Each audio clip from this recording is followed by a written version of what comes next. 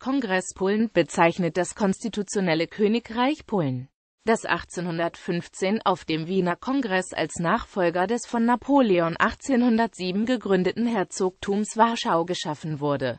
Es war durch Personalunion eng mit dem russischen Zarenreich verbunden und wurde nach Verlust der verbliebenen Rechte ab den späten 1860er Jahren auch als Weichselland bezeichnet. Geschichte Vorgeschichte Nachdem Polen-Litauen in der zweiten Hälfte des 18. Jahrhunderts durch zahlreiche vorangegangene Kriege und innere Konflikte stark geschwächt war, erfolgten 1772, 1793 und 1795 schrittweise die Teilungen Polens unter den Nachbarmächten Russland, Preußen und Österreich, so dass für über 120 Jahre kein eigenständiger polnischer Nationalstaat mehr existierte. Das Gebiet um Warschau kam zum neu geschaffenen Südpreußen.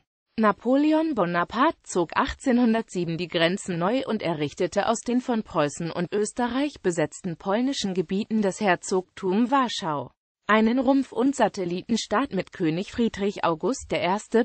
von Sachsen auf dem Thron. Kongress Polen Nach der Niederlage Napoleons stellte 1815 der Wiener Kongress die polnische Monarchie wieder her. Zar Alexander I stellte, beeinflusst von seiner Freundschaft mit Adam Jelsi Czartoryski, den polnischen Staat wieder her und wurde in Personalunion König von Polen. Theoretisch war es ein autonomer Staat. Kongress Polen blieb jedoch unter russischer Kontrolle. Sein Bruder Konstantin hatte als Militärgouverneur von Warschau und General der polnischen Truppen eine starke Machtstellung. 1820 heiratete er eine polnische Griffin. Konstantins Kopeit, Tyrannei und militärischer Drill waren jedoch nicht besonders hilfreich, um Polen für ihn und die russische Herrschaft zu gewinnen. Das Königreich Polen, so der offizielle Name, entstand aus dem früheren Herzogtum Warschau ohne das Großherzogtum Posen und die Gebiete von Lubawa, Toruń und Chemno und ohne die freie Stadt Krakau. Abgesehen vom Staatsoberhaupt sollte der neue Staat laut Verträgen von 1815 eine starke Autonomie und die alte Verfassung von 1791 haben. Die Gesetze sollten von dem Sejm erlassen werden, eine eigenständige Armee, Währung, unabhängiger Staatshaushalt, Strafgesetzbuch etc.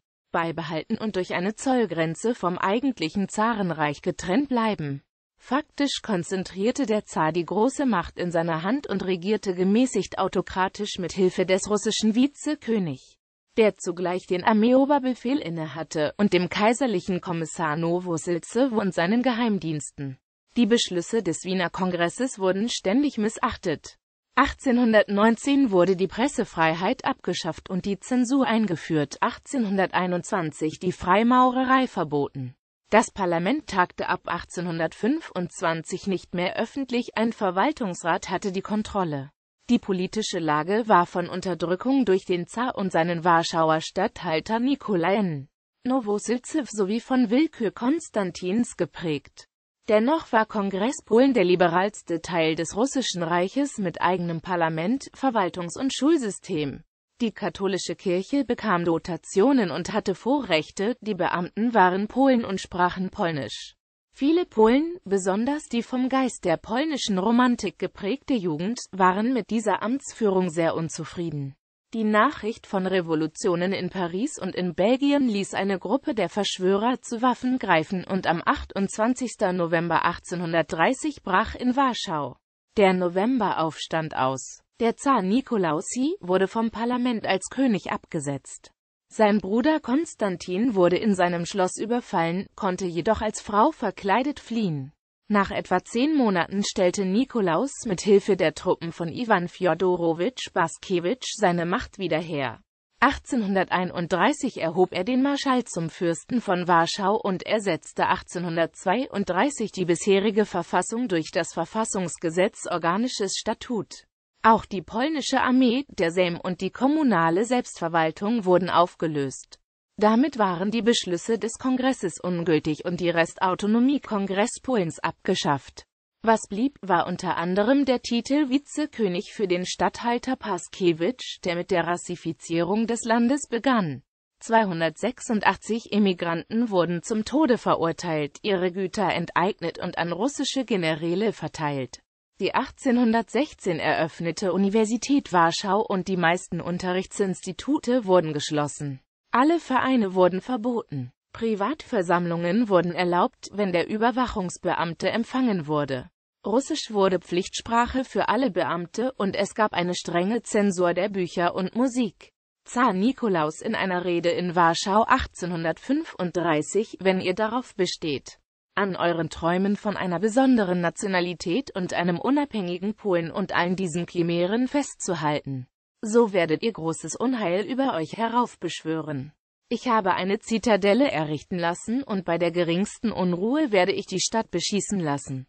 Anführungszeichen. Punkt. Erst die russische Niederlage im Krimkrieg 1855 und der Amtsantritt des neuen Zaren Alexander II. führten wieder zu einer polnisch-russischen Zusammenarbeit. Unter der Führung des gemäßigten Alexander Wielopolski wurde 1862 eine nur aus polnischen Politikern bestehende Zivilregierung ernannt. Die Einigungsbestrebungen Italiens inspirierten jedoch das demokratische Lager dazu, im Januar 1863 einen bewaffneten Kampf aufzunehmen. Militärisches Missverhältnis gegenüber den russischen Truppen und vergebliche Versuche, große Bauernmassen zu mobilisieren sowie Uneinigkeit der politischen Emigration und mangelnde Unterstützung europäischer Staaten brachten den Aufstand zum Scheitern. Die drastischen russischen Vergeltungsmaßnahmen, Enteignungen und Deportationen nach Sibirien führten schließlich zur Schwächung des Adels innerhalb der polnischen Gesellschaft. Übergang zum Weichselland Im Jahre 1867 wurde das Amt des Vizekönigs und das Wappen von Kongress Polen abgeschafft. Das nun in zehn Gouvernements aufgeteilte Gebiet wurde direkt ins Zarenreich integriert. Der bisherige Name wurde zwar nie offiziell geändert, jedoch tauchte seit den 1880er Jahren auch in verschiedenen Verwaltungsakten immer häufiger die Bezeichnung Weichselland auf. Und das Wort Polen wurde sogar als geografischer Begriff von russischer Seite gemieden, Könige von Kongress Polen. 1815 bis 1825 Alexander I. 1825 bis 1830 Nikolausi, 1830 als König abgesetzt, seit 1831 wieder an der Macht ohne Wiedereinsetzung als König.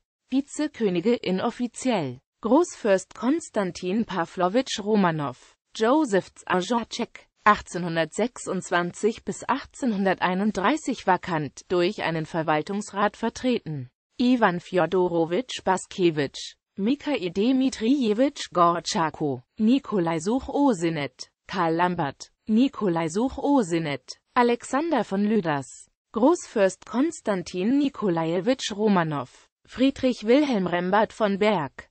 Der Titel Vizekönig wird durch Generalgouverneur von Warschau ersetzt.